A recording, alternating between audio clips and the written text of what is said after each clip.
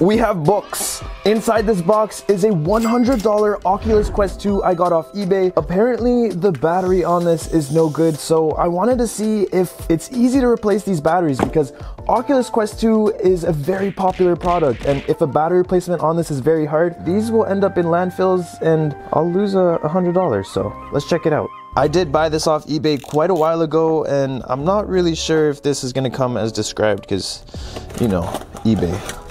We'll open up the box. There we go.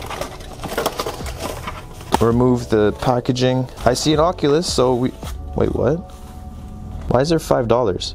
Um, thank you, I guess. This is from the States. I'm guessing whoever sent this had $5 they just wanted to get rid of. I don't know if this is a good sign or a bad sign. Is this $5 compensation for how bad this Oculus is about to be?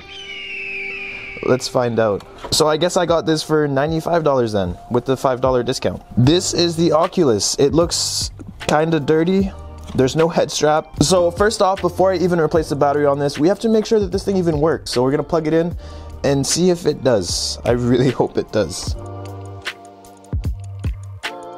We have a flashing red light. And no display. I don't see anything at all. So I just googled the problem and basically a flashing red light means that the Oculus doesn't have enough power to even boot. We'll leave it charging for a bit and see what happens. So I just drove home to get some controllers so I can actually see if everything works and to my surprise everything does. We charged up the battery and miraculously it charged to 50% very quickly but it's going down super fast. So in the last three minutes, it went down about 5% and we're not even playing anything. We're literally on the home screen. So I can confirm that this does need a battery. So the first thing we have to do is remove the headset cushion. There we go. And it looks like we have a bunch of, I think those are T7 screws. We'll hit this with an unscrew. I'm not gonna lie to you guys, I'm actually a little bit scared to do this because I've never done it before and I really don't want to waste my money. Unscrew again. Now is the moment of truth. We're gonna lift this up. That is the inside of the Oculus. I think we have a flex cable here. We could just pull that out. Okay, there's some glue there, but we got it out. So that's the proximity sensor. It's right over here. And now we have, uh, let's see what we got. So I'm seeing some Phillips screws that I believe allow you to pop off this cover. So we're gonna continue to unscrew everything. And there's one, oh my God. Why is there hair in here, for real? One, two, three screws that I can see. We'll hit this with an unscrew. These are probably all the same size, so I'm just gonna put them over there. This one's kind of hard to get to. Unscrew. If I can pull this off successfully, I'll definitely be offering this as a service. If it's too difficult, probably won't be worth it. The battery is only about $30 Canadian, so not bad at all. Now that we have those three screws off, I think this should pop off now. Hopefully. I may or may not have removed the wrong screws, so we're gonna use this guy. This lets you kind of get into places that a normal screwdriver wouldn't. Unscrew? What the hell is this?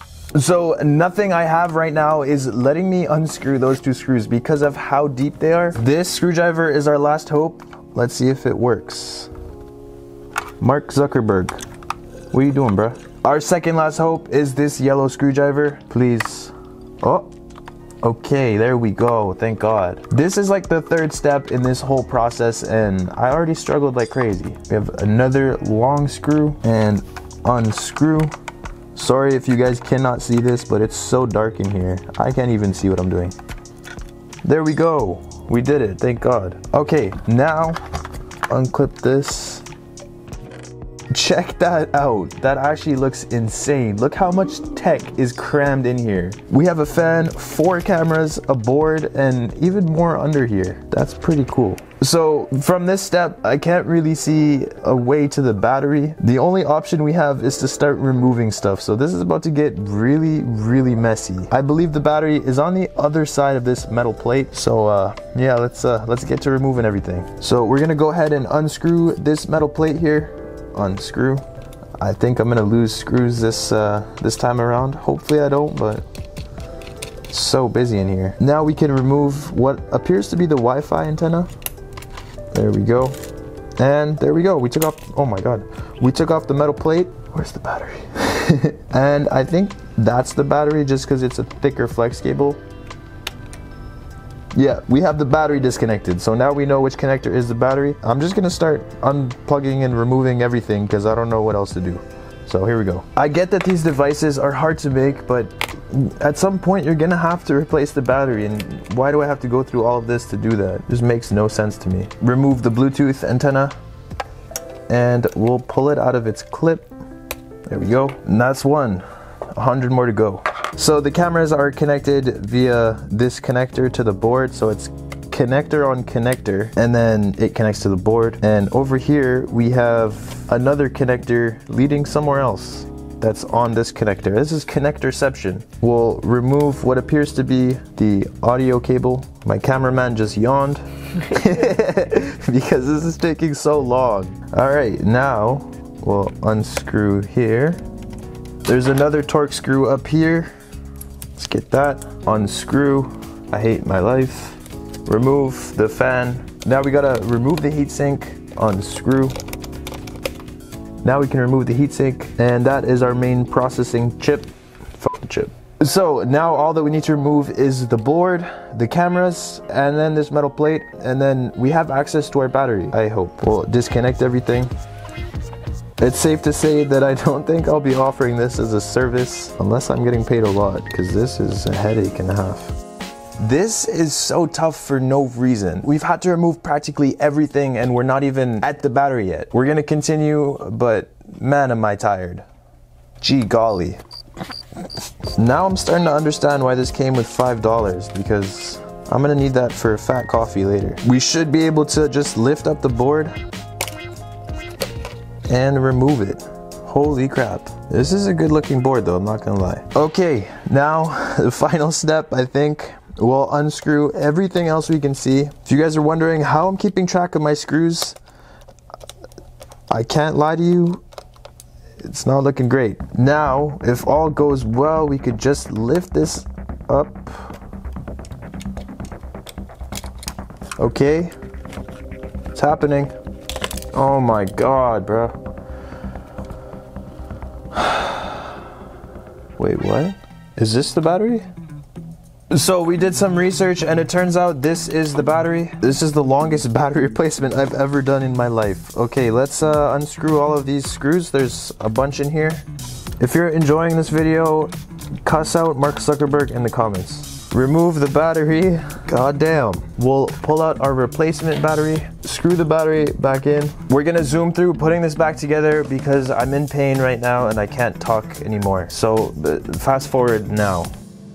Little did I know that pain was just the beginning. As I put this back together, I kept realizing I was missing something, and I had to tear it down over and over again to make sure everything was in the right place. The amount of connectors and screws here is insane, and even with the best repair mat in the world, it's still hard to put everything back where it belongs. The scariest part of all this is that I don't even know if the Oculus will still work after this. The thing is, I'll only know once I put it all together. If this doesn't work after I put it all together, I pretty much have to do this whole thing all over again, which would be torture. Surprisingly, I managed to put everything where it should be, and I'm 99% sure all the screws are in the right place. And this is it. The Oculus is back together. All that's left is to see if it still works. Hopefully we're good to go. We're going to press and hold the power button because in theory, this battery should have charge because it's brand new. I hope this works. Well, we have a LED and I actually can see, oh, it made the noise.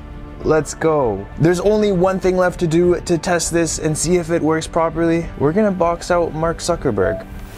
So I hopped in the ring with Mark Zuckerberg and we went at it. He does look stupid in those blue shorts with those blue gloves, but he put up a good fight, I'm not gonna lie. The fight for right to repair is much more important, so I finished him off. Whoa. Look at him on the floor. He looks stupid.